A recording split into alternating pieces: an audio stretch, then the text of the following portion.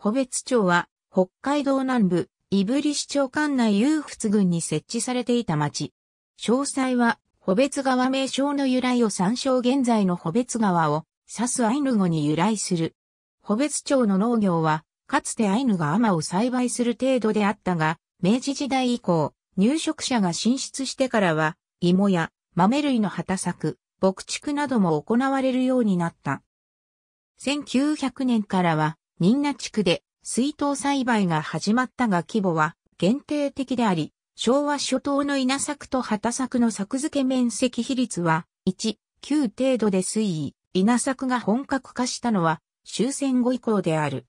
農業従事者は農業の知識に乏しい本州からの入植者も多かったが、口述する林業や工業の現場など農閑期における農外収入が得られる機会もあり、生活を維持することが可能であった。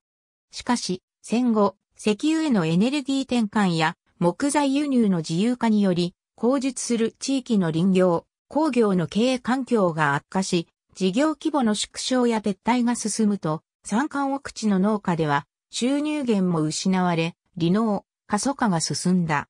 農業の自立と多角化、減反への対応が求められる中で、1963年からは町主導でアスパラガス栽培が、1971年からは愛系メロンの栽培が始まり成功を収めた。水利の良い場所での水筒栽培は面積を広げるとともに品質も向上。1980年には北海道米幕改良協会の推薦を得て、健常米を生産する農家も現れた。保別町の林業は1909年、無川を利用した原木の流送手段が確保されてから本格化した。また、1923年に船井線が開通すると、さらに発展した。向川沿いの原生林は伐採されて、苫小牧市の王子製紙工場へ運ばれて、パルプの原料などになった。また、大正元年からは伐採跡地の残材を利用した炭焼きも本格化。大正末には炭焼き用が1000機を超えた。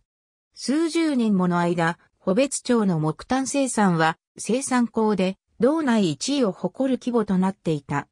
原木の伐採箇所が奥地化して木炭の材料が入手しにくくなると伐採後に成立した虹林をも新炭林として利用して産業の規模はさらに拡大した。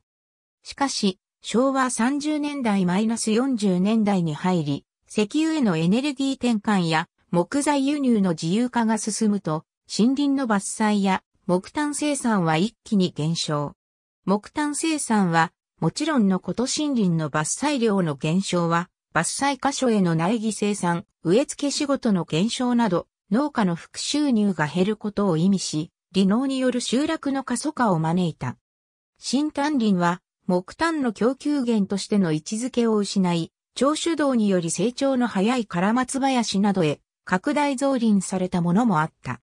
保別町の工業は、明治期に石炭やクロムが発見されたことに始まるが、運搬手段がなかったため長らく、手付け数であり、大正期の船井線の開通したことにより最高が本格化した。